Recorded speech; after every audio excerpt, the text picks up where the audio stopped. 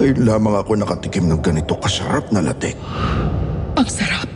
Ang tamis! Kakaiba ang lasa nito.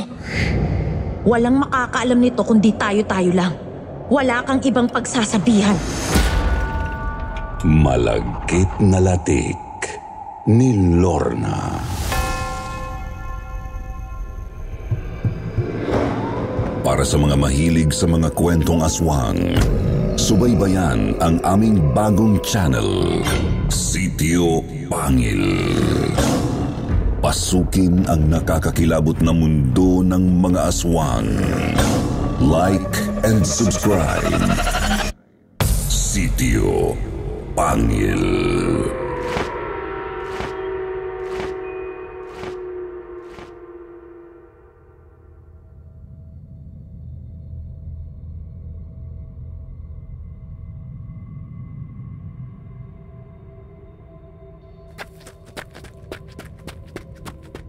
May ubad na babae sa ilog! May ubad na babae sa ilog! Ano raw yun, Lola? May natagpuan daw na hubad na babae sa ilog. Sana hindi si Lorna. Dito ka lang, Lola Maring. Ako nang pupunta ron.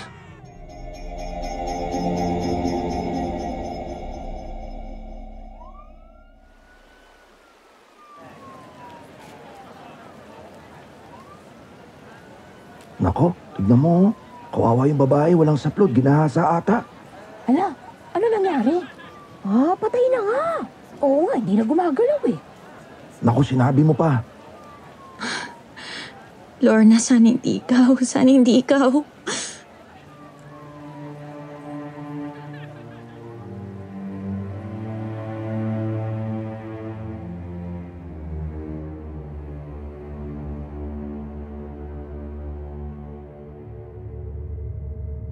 Tawagin niyo akong Tala, Sir Jupiter. Nangyari ang aking ikikwento taong 1989. Tatlong dekada na rin ang nakakaraan. Marami nang nagbago pero sariwa pa rin sa isip ko ang alaala ni Lorna. Ang babaeng minsay tinawag na babaeng latik. Pinsan ko si Lorna. Maaga siyang naulila sa edad na 15 matapos napaslangin ng kanyang mga magulang ng sarili naming kamag-anak dahil sa away lupa. Ang Lola Maring ang nag-alaga kay Lorna. Pagkalipas ng tatlong taon dahil na rin sa hirap ng buhay, isang delikadong trabaho ang pinasok ng kaawa-awang dalaga.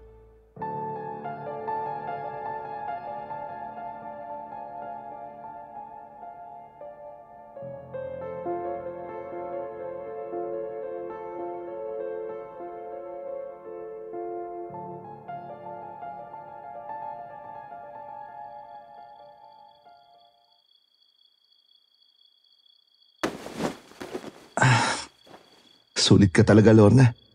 Kakaiba ang ganda mo. Istisa ka at balingkinitan. Sobrang laki ng iyong hinaharap. Alam ko marami pang lalaki ang mahuhumaling sa'yo. Pwede lang kitang asawain eh. Kaso hindi ko maiwan yung asawa at anak ko. Tama ng satsat, Tikoy. Bigay mo ng bayad ko. Oh, eto tatlong daan. Pinag-ipunan ko pa yan ha. Maranasan ko lang na makasama ka ngayong gabi, Lorna. Dagdagan mo na ng pang-alak at sigarilyo. Ubus na budget ko eh. Oh, eto sampung piso. Ipagkalat mo na rin sa mga kaibigan mo kung anong natuklasan mo sa gabing to ah. At sabihin mo sa kanila na hindi ako tumatanggap ng walang bayad. Siyempre. Pero mauulit pa rin to, di ba? Oo, pag may pera ka. Oh, saan pupunta? Uuwi. Teka, gabing-gabi na. Baka mapano ka sa daan. Maraming rapist dyan. Dito ka muna. Magtabi na muna tayo matulog. Bakit? May pambayad ka pa? Eh, pasensya ka na. Nag-aalala lang ako sa'yo. Lagi ako nagdadala ng kutsilyo. Subukan nilang galawin ako ng walang bayad. Puputulin ko nag-iisang bagay na pinagmamalaki nila sa buhay. At muna akong alalahanin. Alalahanin mo ang anak mo. Palakihin mo siya ng mabuti nang hindi siya matulad sa akin. Ha?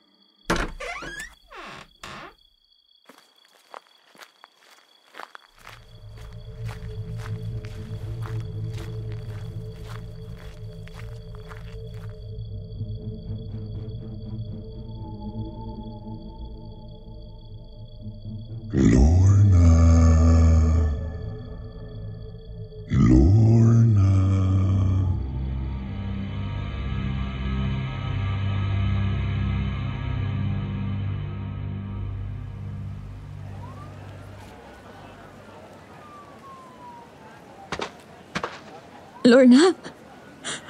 Lorna! Diyos ko! Diyos ko, ikaw nga, Lorna! Bawal! Bawal ka rito! Pinsan ko yan! Kilala ko ang babaeng yan. Hayaan niyo akong makalapit sa kanya. Sandali lang. Iniimbestigahan pa namin kung ano nangyari. Ba't patay na ba siya? Wala na siyang mga pulso. Hindi. Bata pa yung pinsan ko. 18 anyos pa lang siya. Hindi pa siya pwedeng mamatay. Hayaan niyo ako makalapit sa kanya para awa niya na.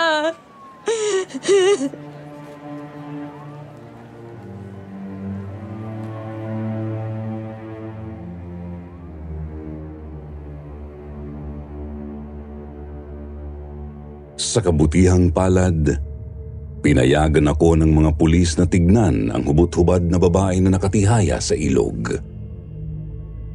Kumpirmadong siya si Lorna at hindi na siya humihinga nang makita ko siya. Hinawakan ko ang mga pisngi niya, namumutla at animoy nalunod sa ilog na yon.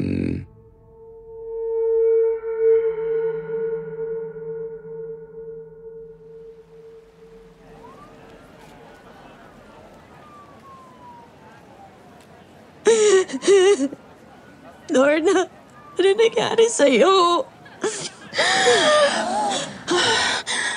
Lorna? Uy, uy, tingnan niyo! Yung babae! Buhay! Hoy, yung babae na bubuhay! Buhay yung babae? Talaga? Oo nga, buhay nga! Tala, nasan ako? L- Lorna? Bu- buhay ka?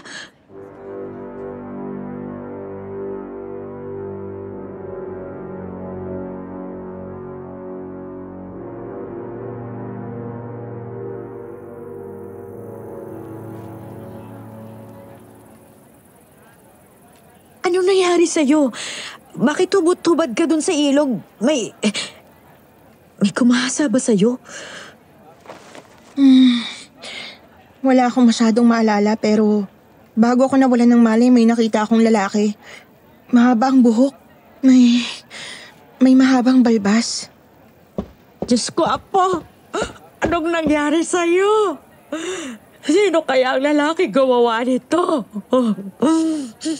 Matangos ang ilong parang Amerikano. Parang wala akong kilalang ganito dito sa bayan natin. Kamukha niya... Kamukha niya si...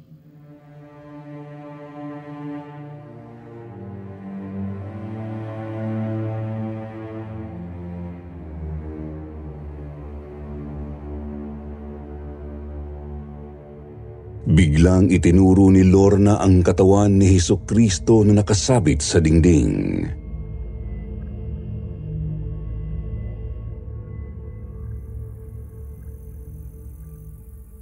Sino?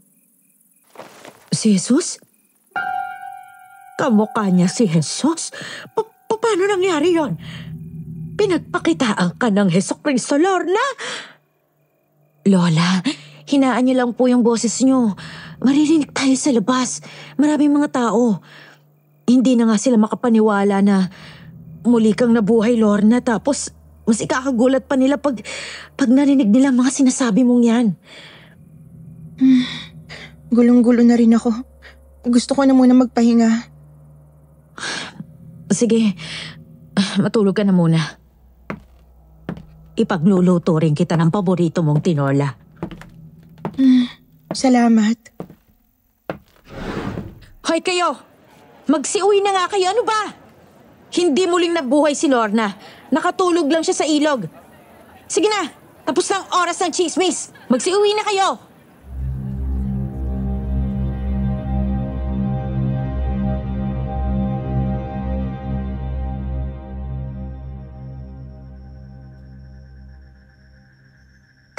Talagang hindi ko alam kung anong gagawin ko sa yung bata ka. Lagi kang umaalis na walang paalam. Halos hindi na kita kilala. Tapos ngayon, sasabihin mo, ginalaw ka ng Panginoon. Anong kalapastangan ito sa Diyos? Para mo na rin minumurang mahal na Heso Kristo. Lorna, isipin mong mabuti kung anong nangyari sa'yo. Baka naman may nakilala ka lang na estranghero? Naalala ko ng lahat. Kamukhang kamukha ni Yeso Kristo yung nakita ko. Makapangyarihan siya. Pinwersa niya ako. Lumulutang kami sa ere at lumubog kami hanggang sa kailaliman ng ilog. Hanggang sa wala na akong makita kundi kadiliman. At yun, nagising na lamang ako sa ilog na yun nang makita mo ko kaninang umaga. Nababaliw ka na! Siguro, nalulung ka na rin sa masamang bisyo kaya kung ano-ano ngayon ang pinagsasasabi mo. Tinatamay mo pa ang Diyos sa kahalayan mo. Akala mo ba, hindi namin alam ang kababuyang pinagagagawa mo? Ah, Lola, tama na ho, biktima rin po si Lorna. Ayoko na sa bahay na to, alis na ako. Lorna, bastos ka talaga. Wala kang galang, Lorna. Gusto ko lang itama ang buhay mo pero lagi mo lang pinapasama ang loob ko.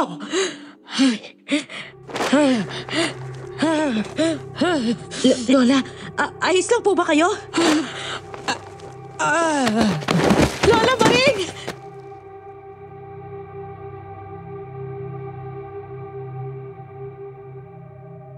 Inatake sa puso ang Lola Maring. Hindi siya natuluyan pero na-stroke ang Lola. Para hindi na lumala ang kalagayan niya, buo ang desisyon ni Lorna na humiwalay sa poder ng Lola. May pamanang lupa ang mga magulang ni Lorna sa bukid kaya doon muna siya tumira sa maliit na kamalig. Binalak niya rin itong ibenta pero dahil malayo ang lugar, walang bumibili nito. Ang nanay at tatay at ang iba ko pang mga tiyuhin ang nagsasalitan na alagaan si Lola Maring. Madalas ko ring binibisita si Lorna sa kamalig para abutan ng pagkain. Isang araw, may naabutan akong hubad na lalaki sa kanyang kamalig. Nagmamadaling magbihis ang lalaki at tumakbo palabas. Marami kasi sa mga customer ni Lorna may mga asawa na kaya madalas nagpapanik ito. Nahihiya at ayaw makita ng iba.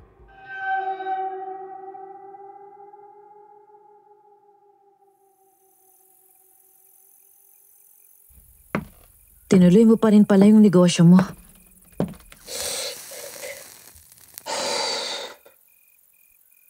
Tala ko nagpunta ka rito para sermonan ako, wag na lang. Kailangan ko ng trabaho. Alam nga naman matay ako sa gutom. Huwag mo naman akong sungitan. Tandaan mo, ako na lang ang kakampi mo. O heto, tinagluto kita ng mechado. Salamat. Ang lola, kumusta na? Ayun, hirap pa rin makapagsalita. Pahirapan din sa pag-aalaga. Pero sana gumaling na siya. Kung may matutulong lang ako. Pwede ka namang bumalik doon. Humingi ka ng tawad sa kanya. Baka patayin lang ako ng mga tao doon dahil sa ginawa ko sa matanda. Katulad ng pagpatay sa nanay at tatay ko. Nakakulong na si Tio Lorenzo. Hindi lahat sa pamilya natin mamamatay tao. Kung hihingi ka ng tawad at magbabago ka, handa ka naming tulungan. Lorna, ayaw mo na ba talagang magbago? Wala akong dapat ipagbago. Walang problema sa akin tala. T- teka, Parang na- napapadalas yata yung pagkamot mo. Ano bang nangyayari sa'yo? Hindi ko rin alam. Kahapon pa to eh. Magpa-check up ka kaya? Hindi na. Baka dahil lang to sa nakain kong laing. Sige na, Tala, makakalis ka na. May mga darating pa akong customer. Mag-iingat ka sa mga ginagawa mo, Lorna.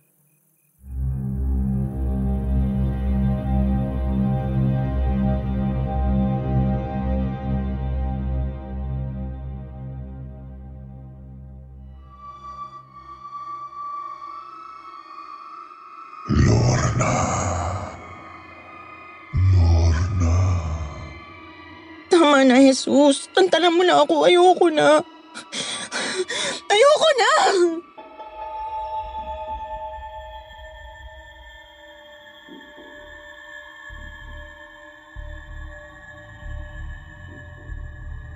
Nang sumunod na araw, naabutan ko si Lorna na hindi makagalaw sa kanyang higaan. Namumula ang buong katawan.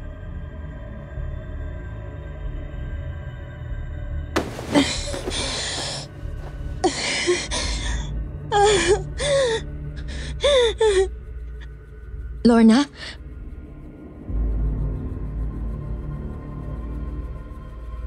At parang may mga namumuong latik sa kanyang dibdib.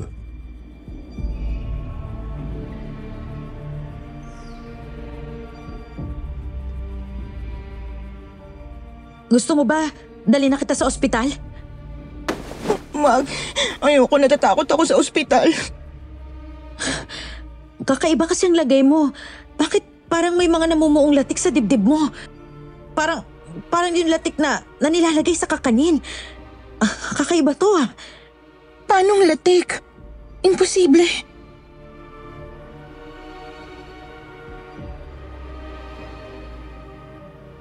Tiningnan ni Lorna ang latik na namumuo sa kanyang dibdib. Sa kanyang pagtataka, gamit ang kanyang mga daliri, kumuha siya ng latik dito at dinilaan ito para matikman.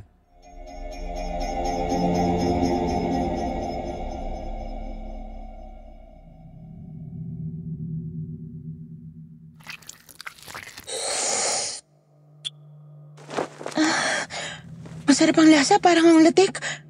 Saan to galing tala? Bakit ako merong ganito? Hindi ko nga rin alam. Tatawag ako ng albularyo. Hintayin mo ako, tatawag ako ah.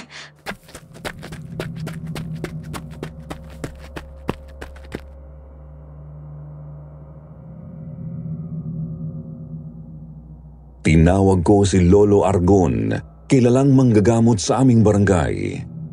Nakatira rin siya sa bukid pero pahirapan ang kanyang pagpunta sa kamalig ni Lorna dahil sa kanyang pilay na paa. Aksidente kasi niyang nataga ang paa sa pagtatabas ng damo.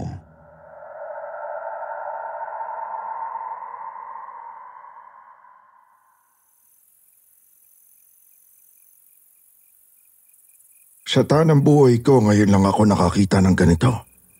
Paglalatik ng dibdib. Parang napaka-imposible. Ano bang nangyari sa iyo, Iya? Si Jesus. Nakita ko si Heso Kristo. Nagpakita siya sa akin noong isang araw at... At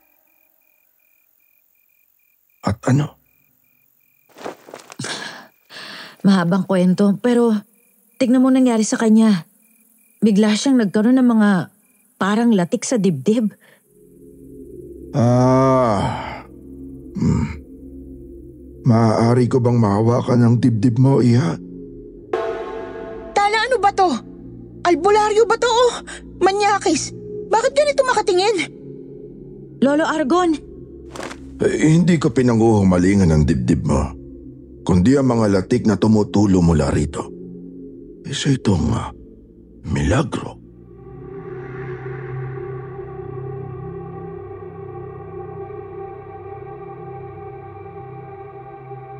Hinawakan ni Argon gamit ng kanyang mga daliri ang ikalawang dibdib ni Lorna at tinikman ang latik mula rito.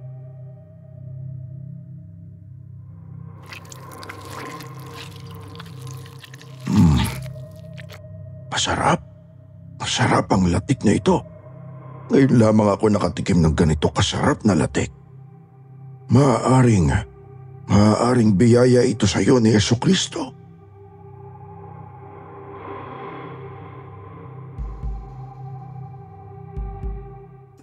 Kumuha si Lolo Argon at nilasap ang sarap ng latik hanggang sa hindi ito nakapagpigil at nginudngod ang sarili sa dibdib ni Lorna.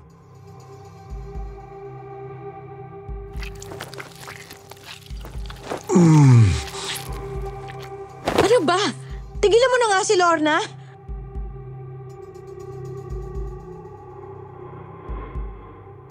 Tinulak ko ang albularyo, humandusay siya sa sahig. Pero agad ding tumayo pero takang-taka siya sa kanyang naramdaman.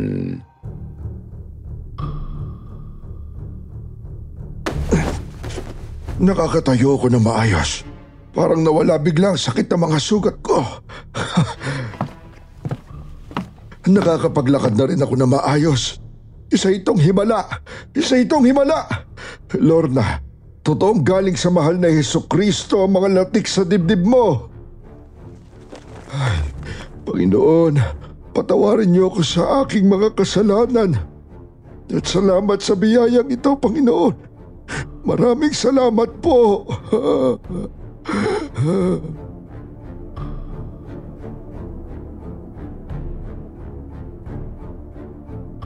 Lumuhod at umiyak ang albularyo at labis ang kanyang pagdarasal.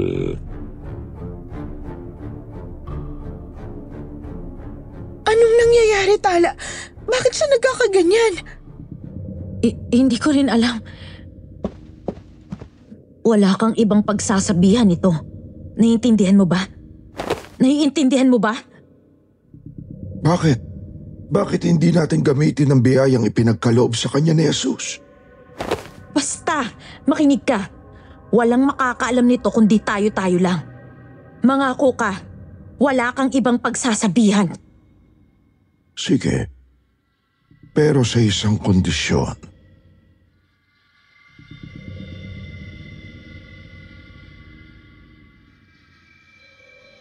Hindi maganda ang kondisyon ni Lolo Argon, pero napagsang-ayunan namin ni Lorna na payagan ito sa gusto niya upang tuluyan itong tumahimik. Hinayaan namin siyang sumipsip muli ng latik sa dibdib ni Lorna hanggang sa magsawa siya.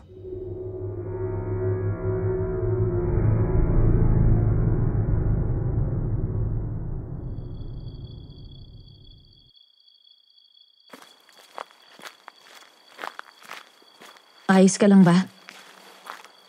Sanay na ako sa mga ganyang tao.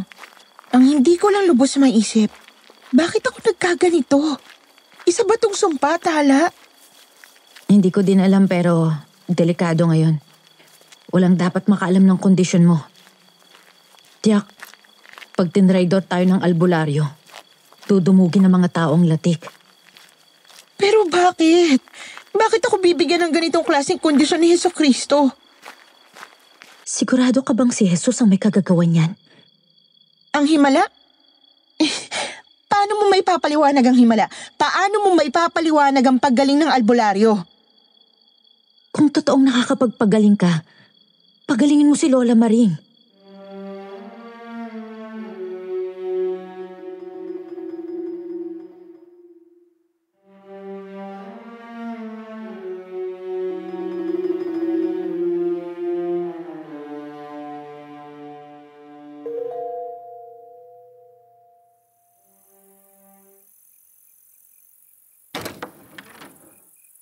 Dali, pumasok ka.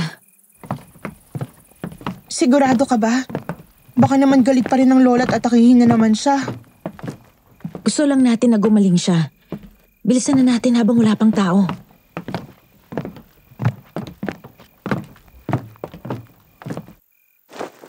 Lola, may gustong bumisita sa inyo. Lola Maring, Ana, babalik ka ngayon. Pagkatapos, pagkatapos mo gawin sa akin to bata ka. Huwag mo na masyadong intindihan ang mga sinasabi niya. Patawarin niyo ako sa lahat ng mga pagkakamali ko. Hindi ko rin gusto kung anong sinapit ng buhay ko ngayon. Pero tapos na. Nangyari na ang mga dapat mangyari. At kailangan niyo tong tanggapin, Lola. Mahirap tanggapin ang k- kabastusan mo.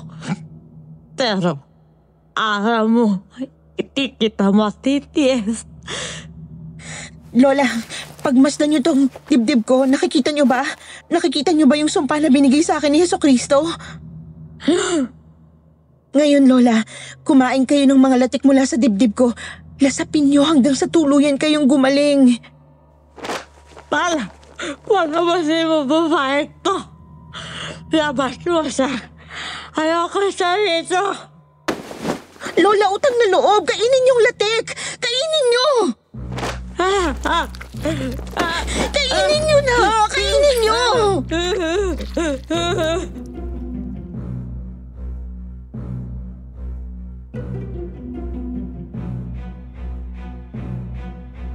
Pilit ni Lornang idinidikit sa mga mukha ni Lola ang kanyang dibdib, habang patuloy naman na nagpupumiglas at natatakot ang matanda.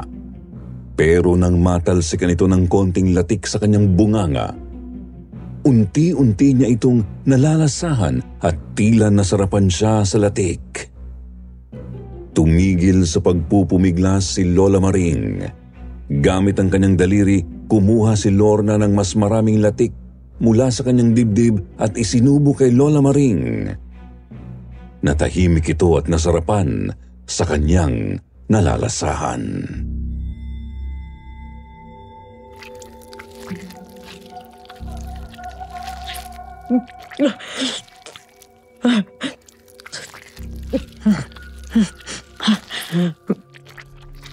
Ano, Lola? Magaling ka na ba? Ginagawa mo sa inay? Ikaw talagang babae ka, nandito ka na naman. Balak mo na naman patayin ang inay, halika rito. Kakalad ka rin kita, babae ka. Aray ko! Aray ko! Huwag mo ako sasabunutan! Nay, tama na yan. Tigilan niyo na si Lorna. Ikaw ang dahilan kung bakit kami naghihirap ngayon ng pag-alaga sa matanda. Pero wiso kang babae ka.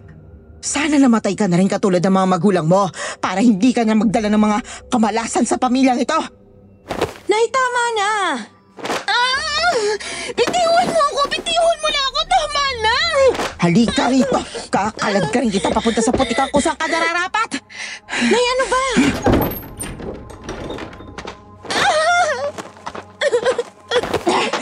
Ayan! Diyan ka sa putikan.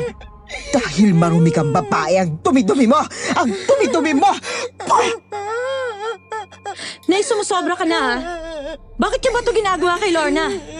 At ikaw naman, umuwi ka pa sa bahay? Isa ka ring walang silbi!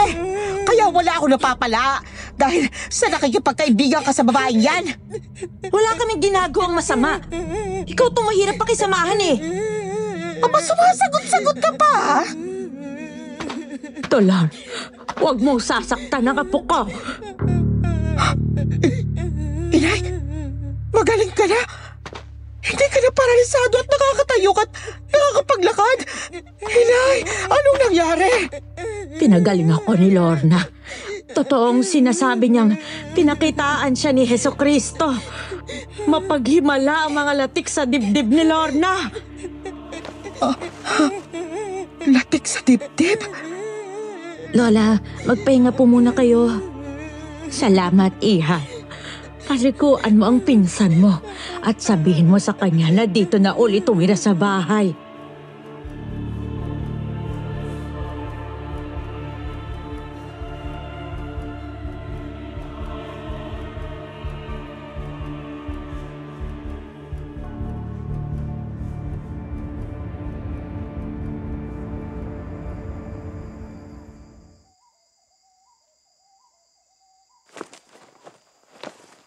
Hindi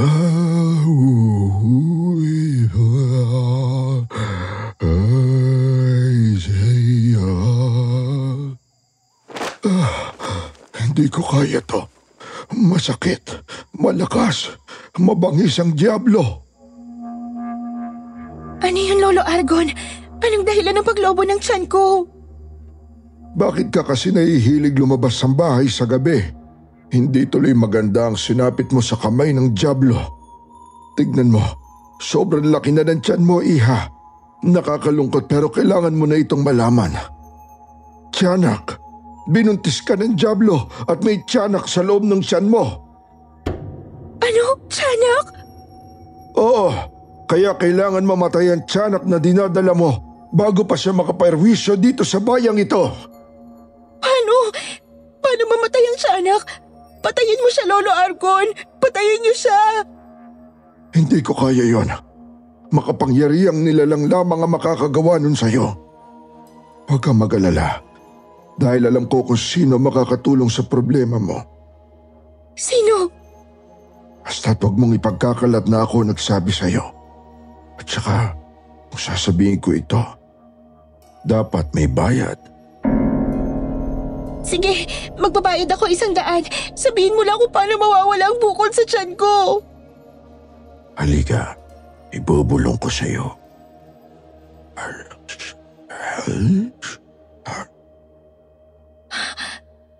Ang mga latik ni Lorna? Ikaw ang may sabi niya, hindi ako. Malinis ang aking konsensya.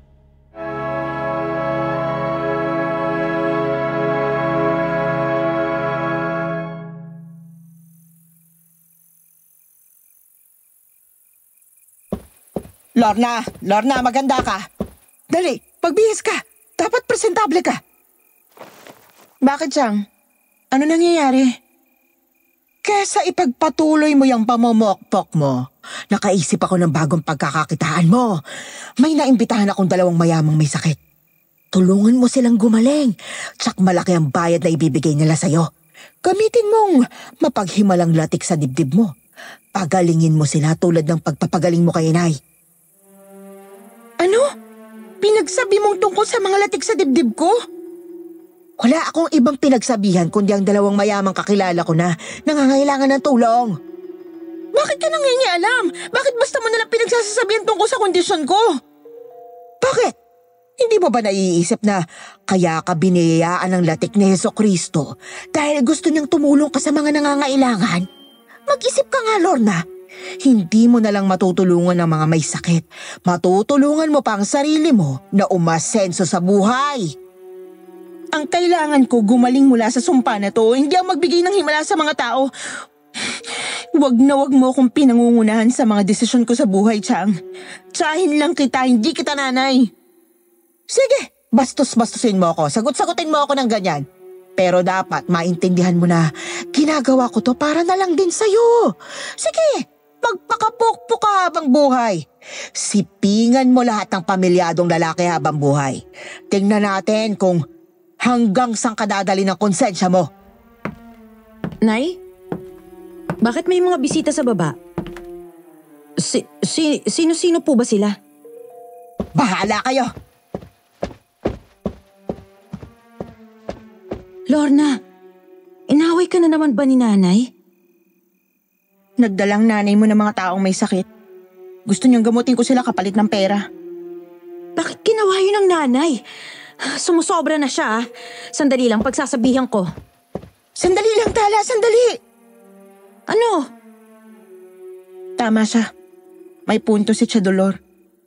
Hindi ba't mas mainam kung gagamitin ko sa pagpapagaling ng taong mga latik sa dibdib ko kaysa ipagamit kong katawan ko sa mga pamilyadong lalaki sa labas? Baka binigyan ako ni Heso Kristo ng ganitong kakayahan dahil panahon na para baguhin ko ang buhay ko. Papayag ka na magbigay himala sa mga tao? Pumapayag akong ibenta ang mga latik ko sa mga tao.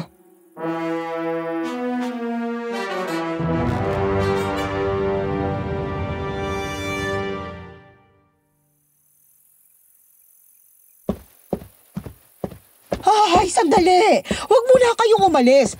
Nakahanda ng pamangking ko. Handa na siyang pakitaan kayo ng kanyang milagro. Sige, maupo muna kayo dyan. Ah, sige. Akala talaga namin mababaliwala yung pagpunta namin rito eh. Handa ako magbayad kahit 10,000. Gumaling lang ako mula sa aking colon cancer. Ako rin. Kaya ko magbigay ng 15 mil. Mawala lang yung sakit kong diabetes. Masasagot ni Lorna lahat ng kahilingan nyo. Ang kanyang kakayahan ay binigay mismo ni Heso Kristo. Kaya makakaasa kayo na mawawala lahat ng karamdaman nyo.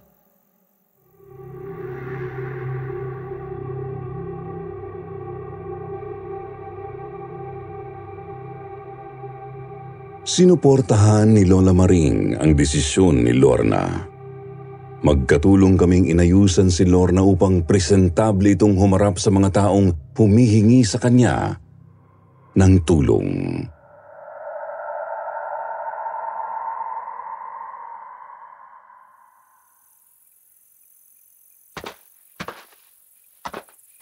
Ah, siya ba si Lorna? Napakaganda naman pala niya eh. Diyos ko, mahal na Birhen, tulungan niyo po ako. Pagalingin niyo ako mula sa sakit ko. Ayoko pang mamatay, mahal na Birhen, para niyo nang awa. Tumayo kayo riyan, huwag kayong lumuhod. Hindi ako mahal na birhen. Lorna ang pangalan ko. Lorna, napakaganda mo, iha. Ako si Minerva. Tulungan mo ko. Gusto ko pang mabuhay. Hindi ko pa... Eh, hindi ko pa kayang mamatay. Hindi pa ako pwedeng mamatay. Tatakbo pa ako bilang konsihal sa bayan na to. Pangarap ko pang maging mayora kaya nakikiusap ako sa'yo. Pagalingin mo ko, iha.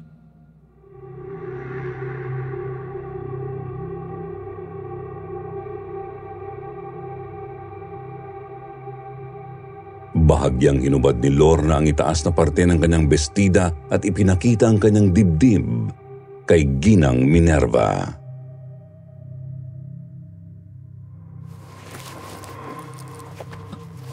Ano yan? Bakit nagkakaganyan ang dibdib mo? Parang... Parang may mga luga. Hindi yan luga. Kung hindi latik, may latik siya sa kanyang dibdib. Latik? Kung talagang ninanais mong gumaling, kumain ka ng latek mula sa aking dibdib.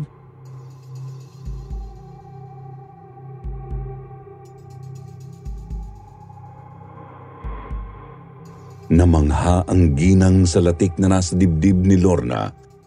Pinagmasdan niya ito ng mabuti hanggang ilapat niya ang kanyang mga labi rito at kinain ang mga latik na nasa dibdib ng dalaga.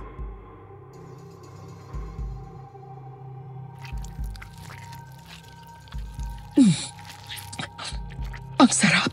Ang tamis! Kakaibang lasa nito. Mas masarap pa to sa nakain kong mga pagkain sa mga mamahaling restaurant. Ah, maraming salamat, Iha. Maraming salamat. Halika rito, Minerva. Doon tayo sa loob ng bahay. Uminom ka ng tubig at pag-usapan na natin ang bayad. Dali. Ha? Dali.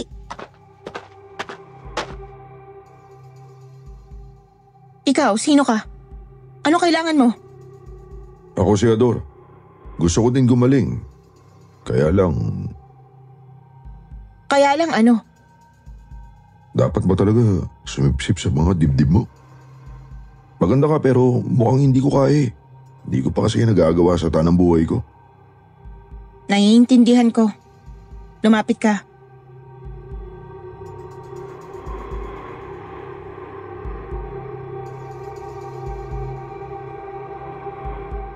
Gamit ang kanyang mga daliri kumuha ng mga latik si Lorna mula sa kanyang dibdib at isinubo ang kanyang daliri sa lalaki. Tinanggap naman ito ng lalaki at animoy na sarapan siyang kainin ang mga latik mula sa daliri ni Lorna.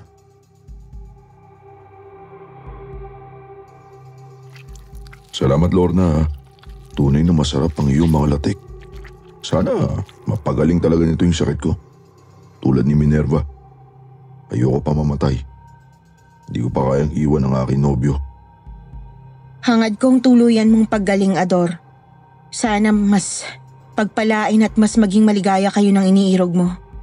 Maraming salamat. Ikaw, tapos ka na ba, ha? Halika na sa loob! Uminom ka rin ng tubig sa loob, dali! Sige po.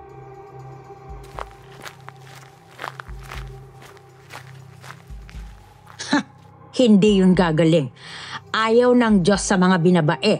Sigurado ako na hindi magiging epektibo sa kanilang latik mo. Laki-laking tao eh, may nobyo. Lola!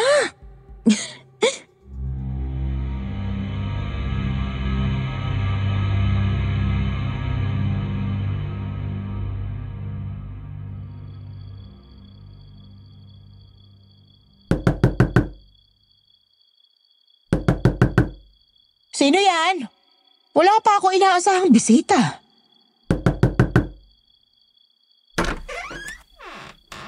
Buntis? Sino ka? Hmm, magandang gabi po. Dito po ba nakatira si Lorna? Bakit? Anong kailangan mo sa kanya? Kailangan ko po ang tulong niya. Hindi naman kita inimbitahan dito ah. Hindi kita kilala. Pasensya na ho kayo. Desperada lang ho ako mabigyan ng lunas ang sitwasyon ko. Ano bang problema mo? Lumulobo po ang tiyan ko. Ang sabi ng albularyo meron daw hong tiyanak sa loob nito. Nakakakilabot naman yan. Sana matulungan ako ni Lorna. Siya po ang tanging pag-asa ko. Konti lang ang iniimbitahan ko ng sagayoy. Hindi kami pagkaguluhan ng mga tao. Pero kung pagbibigyan kita, magkano kaya mong ibigay? Tatlong daan po. Tatlong daan? Ano akala mo sa pamangkin ko, Pokpok? Hindi namin matatanggap ang tatlong daan mo. Umalis ka na. Parang awa niyo na ho. Sa bukid pa po ako galing. Mahirap po bumaba rito. Parang awa niyo na. Hindi. Pag hindi libo, walang milagro. Alis! Alis! Parang awa niyo na. Alis na! Magsama kayo ng tiyanak mo!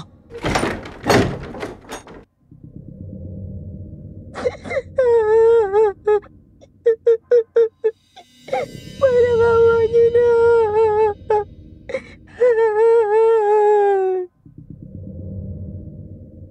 Nay, ano yon? May tao po ba? Wala! Nagtitinda lang ng balot. Pinalis nyo ba? Bibili ako eh. Hindi, wala na kaalis na. At saka, huwag kang magastos. Kala mo naman may pera ka. Si Lorna, kumusta? Ayun, nagpapahinga. Ewan ko ba, Nay? Nangihina nga siya matapos niyang ipakain yung latik niya sa dalawang may sakit kanina. Gagaling kaya sila? Siyempre, ang inay nga mabilis na nawala ang pagkaparilisa eh.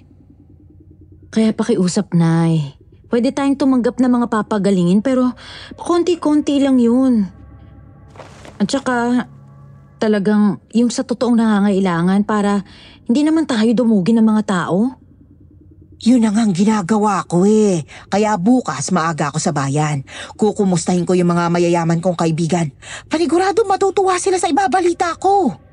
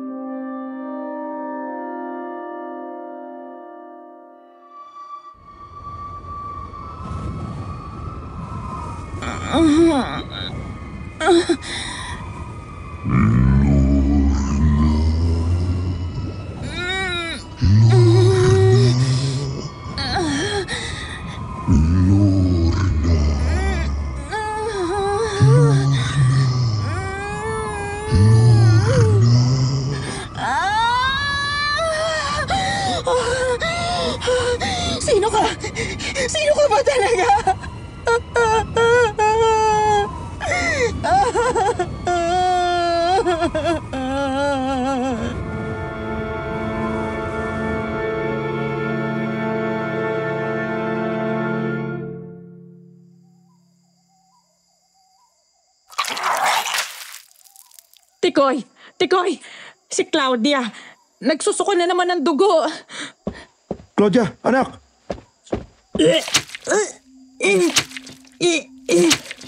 Diyos ko, Edith. Lumalala na yung lagay ng anak natin. Nay, sobrang sama po ng pakiramdam ko. Anak, konting panahon na lang. Makakaipon din tayo ng pambili ng gamot. Sa ngayon, wala pa talaga eh. Anak, patawad anak ha. Wala pa tayong pere. Pangako, dodoblihin ko yung trabaho ko sa araw-araw para mas makapag-ipon ako sa pampagamot mo.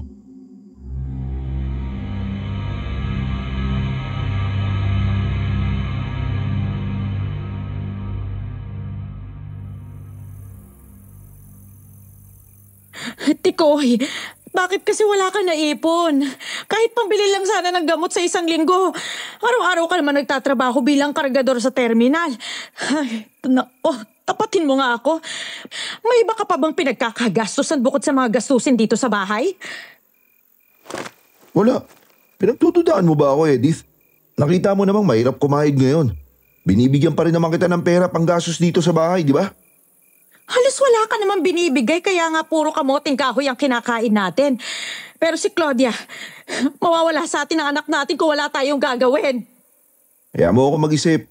Gagawa ako ng paraan. Pangako.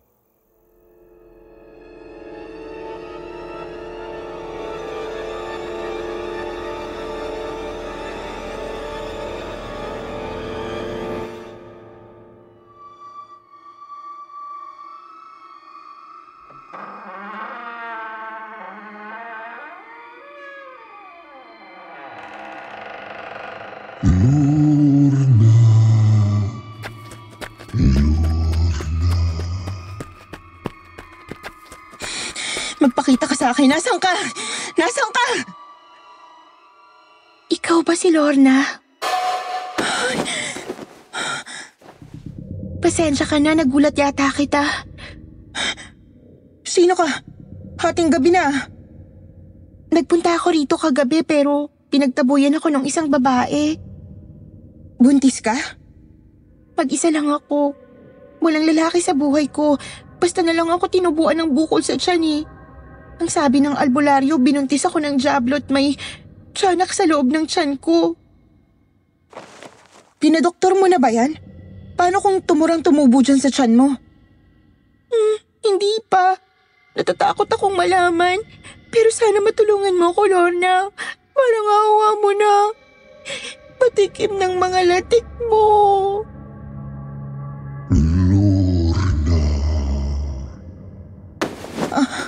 Ang boses. Ang boses ng lalaki tinatawag niya ako. May boses ka rin naririnig? Oo. Ako rin. Nung gabi bago tumubo ang buko sa tiyan ko, may naririnig din ako na boses ng lalaki na tinatawag ang pangalan ko. Nagpaulit-ulit to pero nawala rin naman. Kinalaunan. Nakita mo rin bang itsura nito? Hindi, wala akong maalala. Masyadong madilim ang lahat. Kaya pinakala ko na guni-guni lang ang lahat ng yun. Pero kung totoo man yun, baka nga totoong sinasabi ng albularyo. Na Diablo nga may kagagawa nito. Lorna, tulungan mo ko, tulungan mo ko. Ah. Pwede ko bang makita ang mga latik sa dibdib mo?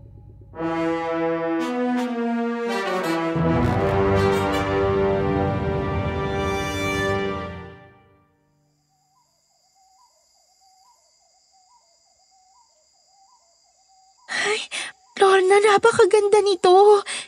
Pwede ko bang tikman? Ah, ang sarap. Ang tamis. Parang totoong gawa sa nyog.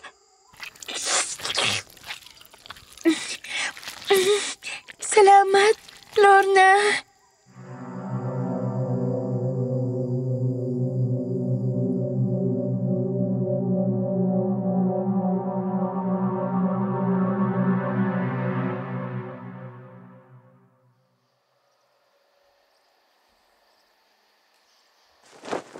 Marami na namang mayayamang may sakit ang inimbitahan ni nanay. Ayos lang ba talaga sa'yo, Lorna? Natatakot ako, Tala. Natatakot ka bang magpagaling? Hindi. Natatakot ako na baka... Paano kung... Paano kung hindi galing kay Heso Kristo ang mapaghimalang latik na to? Kung hindi galing kay Heso Kristo, galing saan? Sa Diablo. Lorna, dali! Hinahanap ka na ng mga bisita natin sa labas.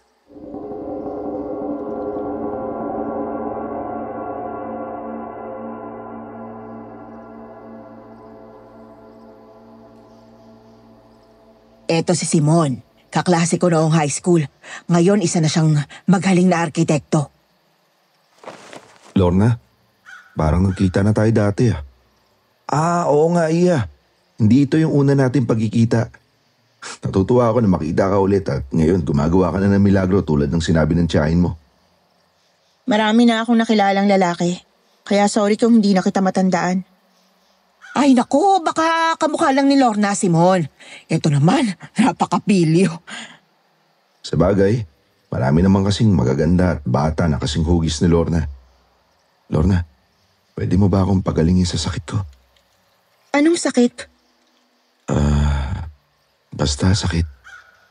Sakit sa dugo.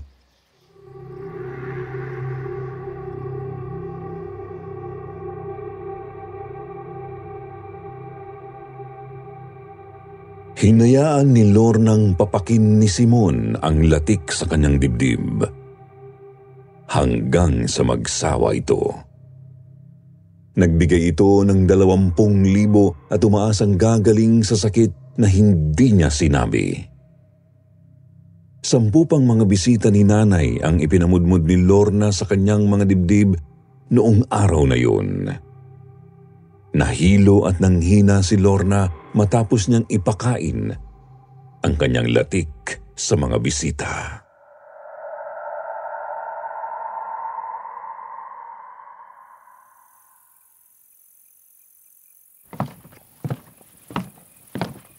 Tala, halika. Magpunta tayo sa doktor. Ba- bakit? Anong problema? Samahan mo ako sa doktor. Si Simon. Naalala ko, sinabi niya may problema siya sa dugo. Tala, paano kung nakakahawa yung sakit niya? Paano kung nahawa ako sa sakit niya? Paano? Katulad ng ano? STD? Oo, Tala, yun nga. Naging kliyente ko si Simon dati. Bakit mo ba pinoproblema pa yan? Hindi ba't mapaghimala ang latik mo sa dibdib? Paano kung walang epekto to sa akin? Paano kung ibang tao lang ang kaya kong pagalingin? Paano? Huwag kang mag-alala. Bukas na bukas din, sasamahan kita sa espesyalista para sa sakit na yan. Lorna, tulungan mo kami! ano yun?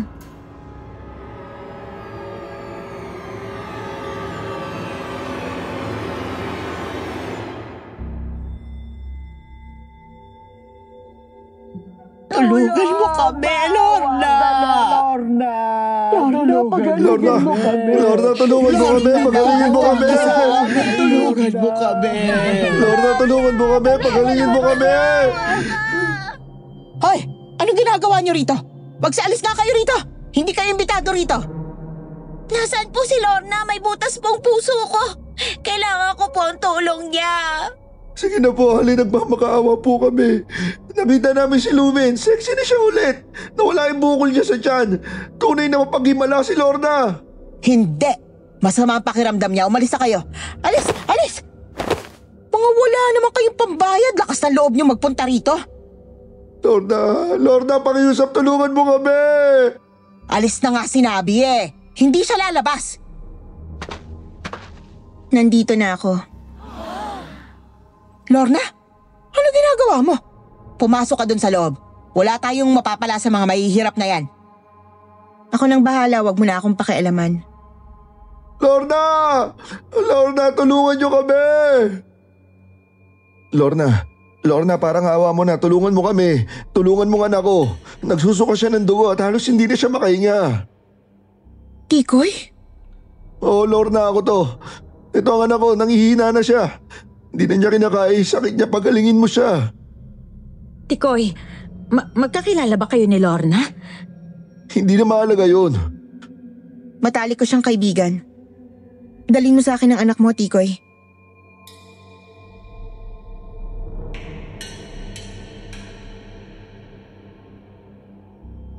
Ipinahid ni Lorna ang latik sa mga bibig ng walang malay na anak ng mag-asawa.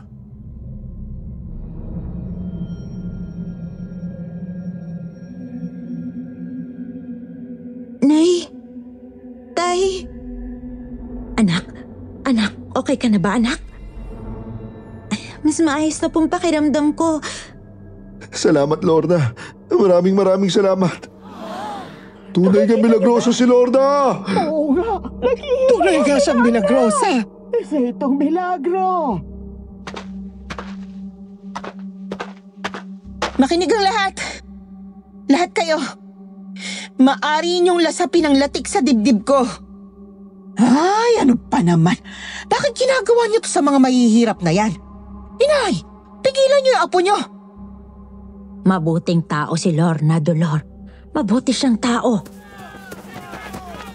Ah, ah, sandali, pumila kayo, pumila kayo, sandali. Te- teka, pumila ang lahat. Uy, teka! Ako muna! Ano kayo? Huwag kayo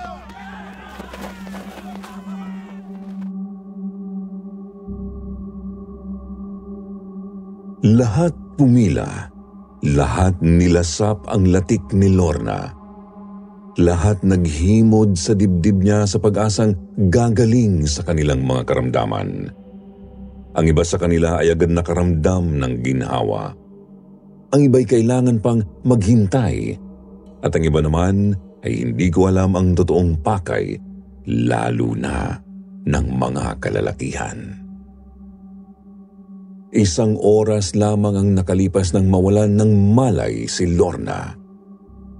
Minabuti na namin nadalhin siya sa ospital sa bayan. Bahagyang bumuti ang lagay ni Lorna sa ospital pero kinailangan niyang manatili doon ng ilang araw. Habang nandoon kami, minabuti na rin ni Lorna na magpa-test para sa STD.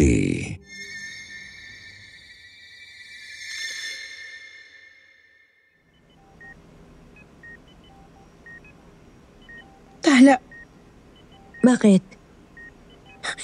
tala. Positive. Positibo ako sa STD. Ha? Pa- paano? Hindi ka ba kayang pagalingin ang latik mo? Matagal ko na rin kinakain ang mga latik sa dibdib ko. Dapat wala na akong sakit. Ibig sabihin, hindi umiepekto sa yung latik mo. Hindi ko alam. Gulong-gulo na rin ako. Tana, Pero, paano ang mga tao kumain ng latik sa dibdib ko? Diyos ko, Tala, mahahawa din ba sila? i- hindi ko alam. Baka kasi, hindi ba nakukuha lang yung STD sa pakikipagtalik? Tala, ayoko na ng sumpang to. Hindi si Jesus, hindi si Jesus ang may gawa nito, parusa to. Isa tong sumpa.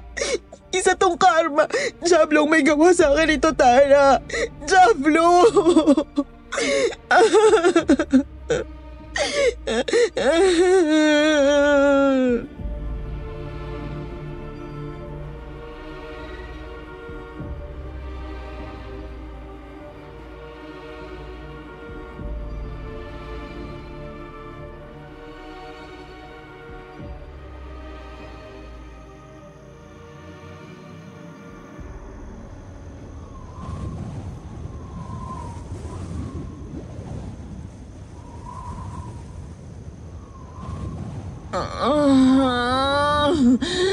Tama na. Tama na. Hindi ko na kaya.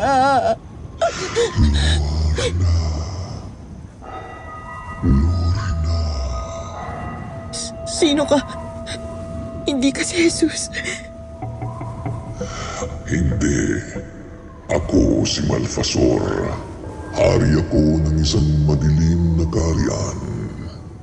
Ikaw ang nagbigay sa akin ng latik. Hindi mo ba nagustuhan ang regalo ko sa iyo? Ang mga taong nakatikim ng iyong latik, hindi ka na nila makakalimutan. Pero bakit ako? Bakit hindi ako gumaling sa sakit ko? Hindi mo na kailangan gumaling dahil lilisanin mo na rin naman ang katawang lupa mo. Sasama ka na sa akin sa madilim na kaharian at doon natin ipagpapatuloy ang ating pag-iibigan. Ano? Ayoko! Ayoko! Hindi ako sasama sa'yo! Nakatagda na ang mga dapat mangyari, mahal kong Lorna.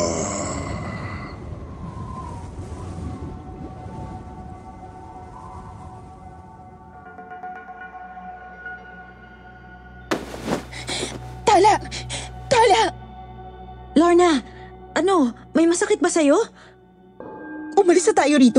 Kukunin na ako ng hari ng madilim na kaharian. Dalian mo!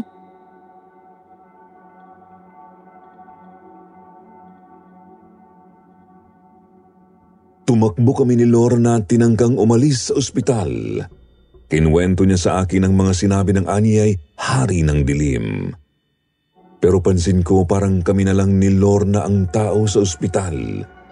Walang doktor, nurse o kahit ibang mga pasyente sa lugar. Hinanap din namin ang daan palabas pero katakatakang hindi na namin ito makita.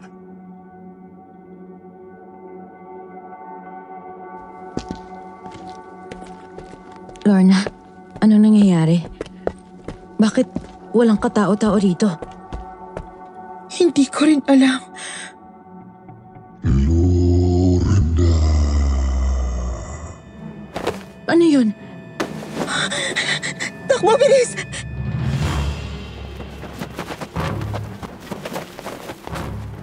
Pagtakbo namin natagpuan namin ang isang babae sa isang sulok. May daladala itong sanggol.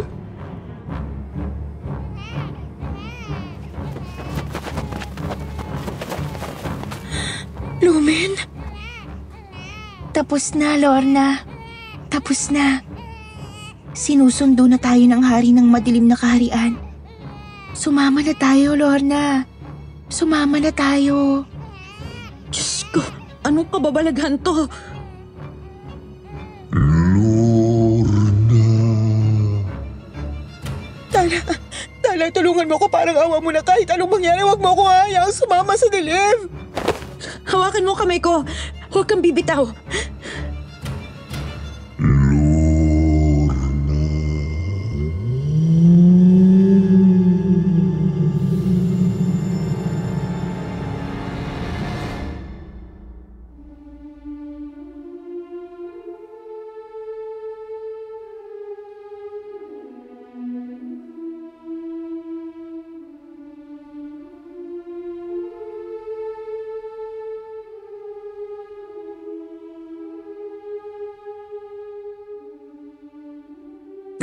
Pinilit pa namin ni Lorna na tumakbo kung saan-saan sa pag-asang mahahanap namin ang daan palabas. Pero naglagkit ang buong katawan ko at hindi ako makagalaw. Hanggang sa nakita ko na lamang ang aking sarili na nababalot ng latik. Ilang sandali pa, nakita ko si Lorna na sinasama ng isang lalaking nakaitim. Mahaba ang buhok at balbas at mukhang Amerikano sa tangos ng ilong. Kasama niya rin ang isa pang babae na may bitbit na sanggol. Tumagos sila sa dingding at tuluyang naglaho. Gusto ko mang sumigaw ng sumigaw, hindi ko na nagawa. Nagising ako sa ospital. Nakita ko ang mga doktor na pilit nire-revive si Lorna. Pero diniklara na rin itong patay saktong alas tres ng madaling araw. Misteryo rin sa kanila ang biglaang pagpanaw ng aking pinsan. Pinagluksa namin ang pagpanaw ni Lorna. Karamay namin maging ang mga taong tuluyang gumaling sa kanilang mga sakit dahil sa mapaghimalang latik sa kanyang dibdib. Wala naman akong nabalita ang nahawa sa sakit ni Lorna dahil sa pagkain ng kanyang latik. Maliban na lamang si Tikoy na kanyang dating nakatalik. Pinagtapat niya sa kanyang asawa ang nakaraan nila ni Lorna pero agad naman siya nitong pinatawad at natanggap ang kanyang sitwasyon. Kinaibigan at lagi ko kasing kinukumusta ang mga taong pinagaling ni Lorna. Sa palagay ko kasi ito ang maaari kong gawin para sa pinsan ko na masiguro na wala na siyang dapat ipag-alala at maganda ang alaalang iniwan niya sa aming bayan. Ngayon matanda na ako. naaalala ko pa rin ang aking pinsan. Hindi ko alam kung ano ang saktong pinaroroonan niya. Pero ang tanging nasisiguro ko, hindi siya nag-iisa.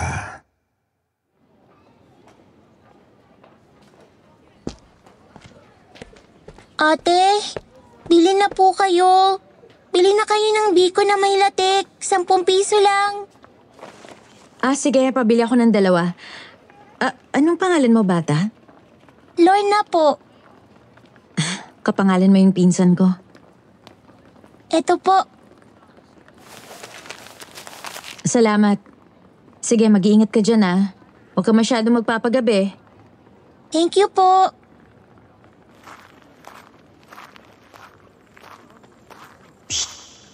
Bata, Sino yan?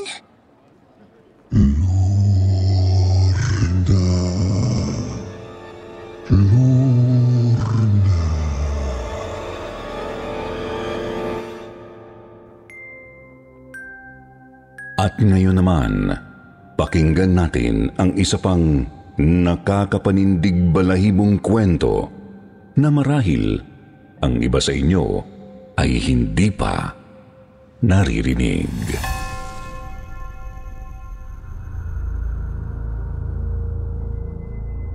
Good evening po sa inyo Sir Jupiter at sa lahat ng mga nakikinig ngayon sa channel niyong Kwentong Takip Silim.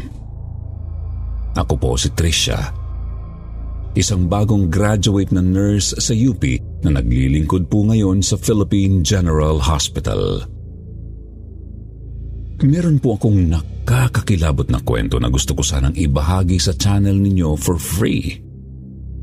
Maniwala kayo o hindi, nangyari talaga sa akin ang karanasang ito. Isa si Lola Tinay sa halos iniwanan na lang ng mga kamag-anak niya sa Charity Ward 4 ng PGH.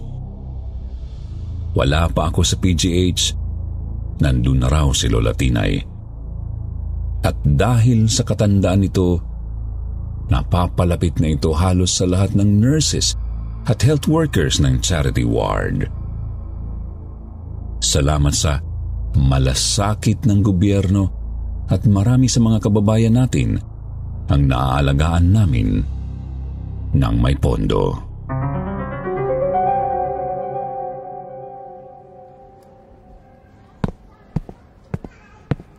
Kape. Ay, Lola, hindi po ako nagkakape. Bawal po sa akin. Bakit bawal? Bata pa lang po ako may arrhythmia na ako. Magaling ka sa arithmetic? Two times two. Four. Eto. Oh, kape. Para lalo kang tumalino. Lola Tinay, salamat po ha. Pero kailangan na natin pumasok sa loob. Bawal kasi tumambay dito sa koridor sa labas. Ako po kasi mapapagalitan kapag... Alam na ni Jesus at Gary yan. Inaabutan ko ng Yossi yung mga bantay sa pinto eh. Tsaka si Nurse Girlie. Palagi ako inaabutan ng candy kaya aprobado ang upuan ko dito sa tapat nitong puno. Pero Lola Tinay, bawal po talaga eh. Bagong patakaran po yun ngayon. Bawal na mamasyal ang mga pasyente. Baka kasi malaglag kayo dyan o madulas. Delikado na po. Ikaw, mahirap ka rin kausap ano? Po? Ako po? Ano pangalan mo? Nurse Trisha po. Hoy, Trisha! Gusto mo bang sabunutan ako ng mga amiga ko kapag pumasok ako agad sa loob? Marami maghahanap ng kapit ko kapag pinalayas mo ako dito sa pwesto ko. Okay po, sige po. Diyan na muna kayo. At magra-rounds ako sa ibang kama sa loob. Mag-iingat po kayo dyan ha. Sila mag-ingat sa loob. po? Wala.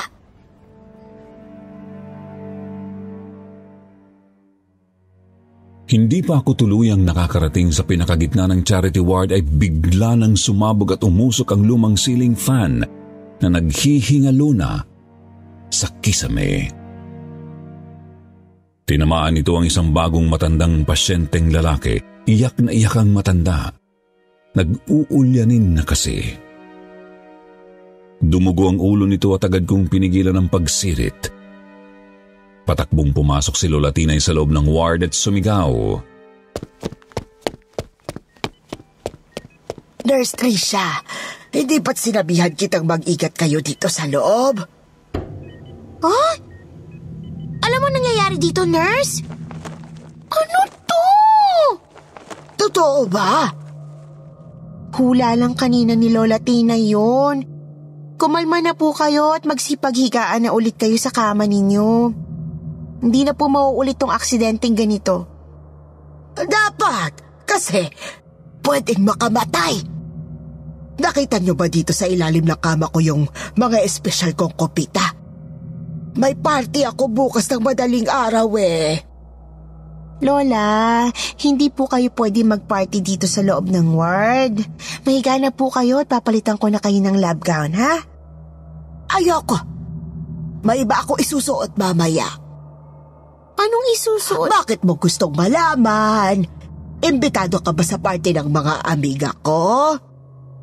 Hindi po. Ayusin mo yung pasyente mo. Hindi naman ikaw ang nurse ko eh.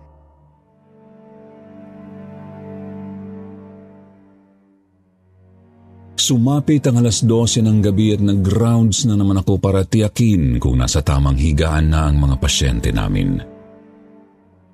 Yung matandang nalaglagan ng ceiling fan, nginitian ako at ngumuso sa akin. Ano po yan, Lolo? Hindi siya sumagot. Pero marahan siyang tumayo at masayang kumuha ng monoblock chair niyang luma at lumabas papuntang oval corridor. Opo, Sir Jupiter. Oval ang shape ng corridor kasi pabilog ang posisyon ng kada ward. Hinatid ko lang ng tingin ang pasyente ko sa hindi ko mawaring dahilan.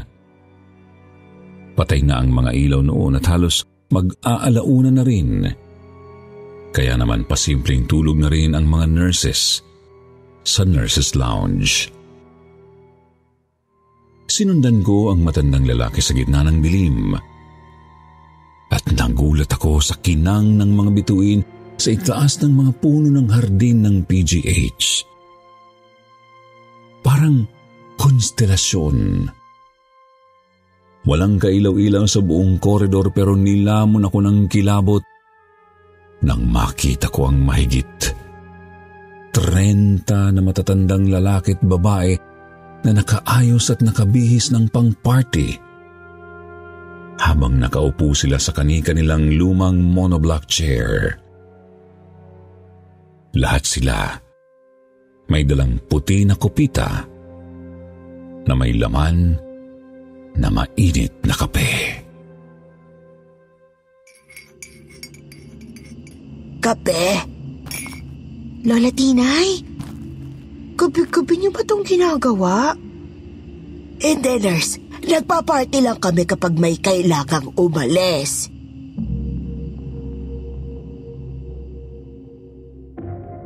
Napabuntong hininga ako, Sir Jupiter.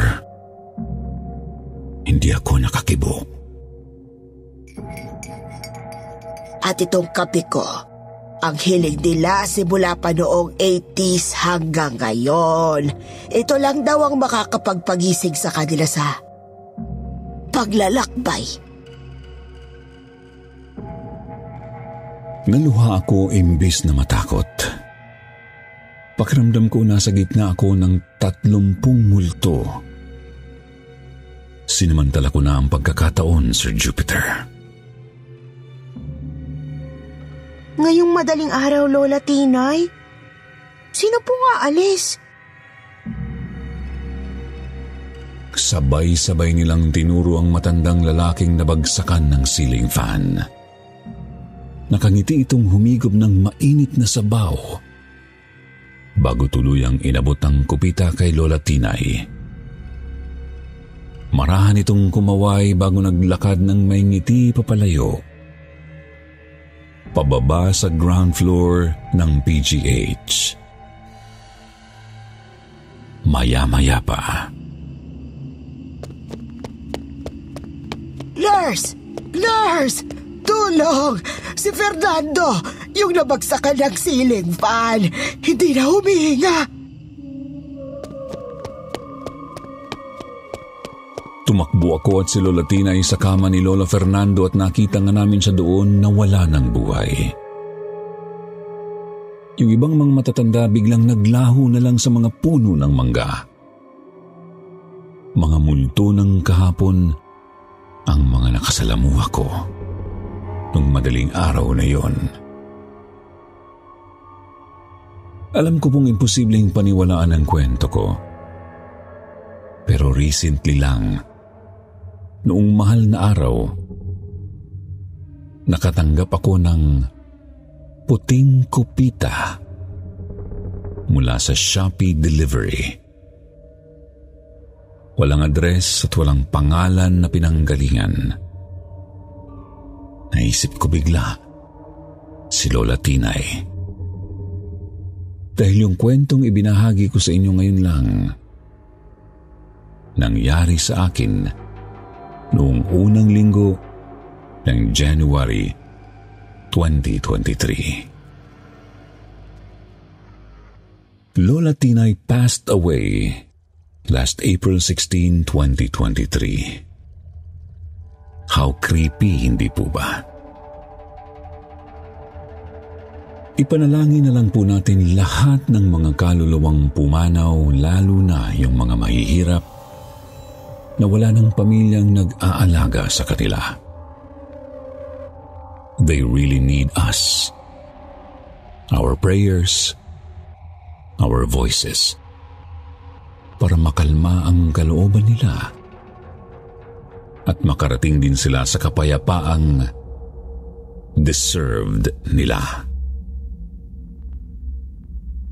Rest in peace sa lahat ng mga naghahanap ng kapayapaan. Buhay man o patay. Jesus Christ is King and He loves us all. Amen.